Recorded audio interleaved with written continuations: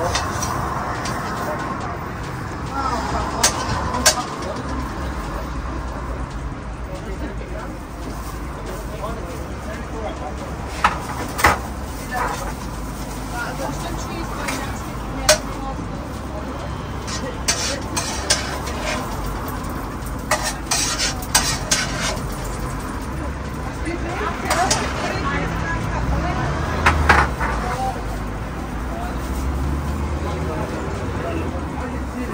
like chutney and milk sauce?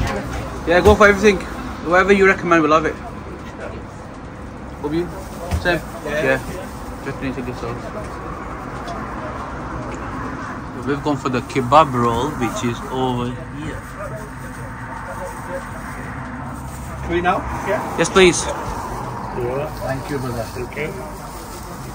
Oh, yes. Let's have a look at that. Oh, look at that. Kebab roll. A bun. Let's give it a taste. Yeah, look at these. Got two kebab rolls. And so hut over here in uh, BD3. I'll put the details in the section. I'm going to try and start. It's a seekh kebab desi roll. It's got chutney in it. Chutney, mint sauce, chili sauce, kebab, fresh bun. And we're going to have a taste of it. Let's have a taste of it.